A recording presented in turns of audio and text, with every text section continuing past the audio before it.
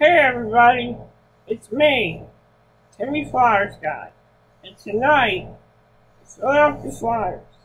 Will be playing the New York Rangers at the Wells Fargo Center. Tonight at seven seven o'clock on NBCSN. The Flyers are coming off a loss against the, uh, coming off a loss against the Boston Bruins three to one on Thursday.